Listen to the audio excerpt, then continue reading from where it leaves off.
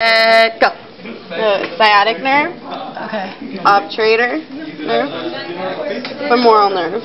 So it is there. I Yeah. thought so. Okay. Yeah, so, because this one is the one that goes Mhm. to the obturator foramen, so, um, what else? Everything. Uh, this is the sacral plexus. So the lumbar plexus is here. And then, so if we're going this.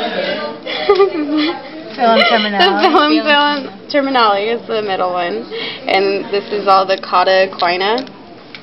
And then conus medullaris. The muscles. Um, oh, yeah, okay. Um, the psoas major and iliacus. Iliacus. Together they form The iliopsoas complex. Okay. And then, so if, why don't you just do it then? Do you wanna do You're whispering in my ear. I, this is the internal intercostals and external intercostals. These would be the um, intercostal nerves. The white, the white one. Yeah, the white ones coming out here. Okay. And then so the white communicans rami are the small ones out here, and then the gray communicans rami. And this is the sympathetic chain and the sympathetic chain ganglia. Um, so this one would be the ventral root, Yeah. and this is the dorsal root ganglia here.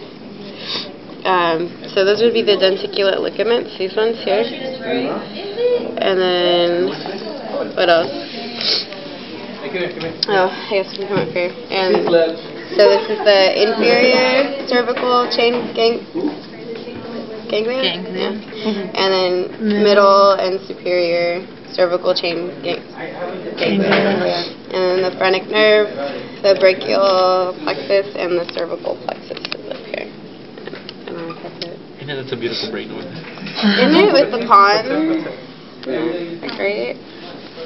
Uh, is that it? I think so.